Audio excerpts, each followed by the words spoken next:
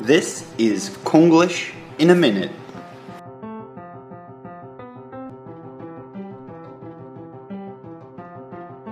Welcome to Konglish in a Minute.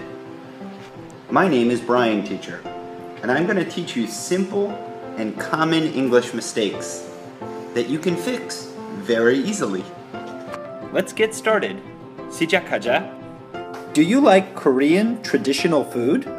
Do you like Korean traditional food? We don't say this when we're talking. English has a preferred order for adjectives. In general, adjectives usually appear in this order 1. Opinion. 2. Size. 3. Shape. 4. Color. 5. Nationality. And number 6.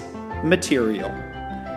This order is not 100% set, but it is preferred. It sounds the most pleasing to our ears. 영어에는 형용사를 나열하는 순서가 있습니다. 일반적으로 아래와 같은 순서대로 사용합니다. 1. 의견 2. 크기 3. 모양 4.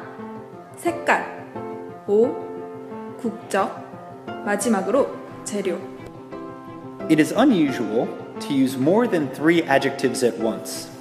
At any rate, it is more natural to say traditional Korean. You want to give the most important information first.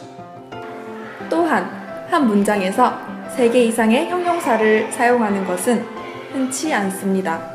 위 문장의 경우에는 다음과 같이 사용하는 것이 자연스럽습니다.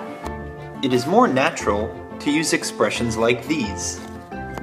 Do you like traditional Korean food? Do you like traditional Korean food? A big, fat dog. A big, fat dog. An interesting, old Indian rug. An interesting old Indian rug. A striped silk shirt. A striped silk shirt. You can find the rest of the Konglish in a Minute videos on my YouTube page, Kaizen Teaching. Have a great day.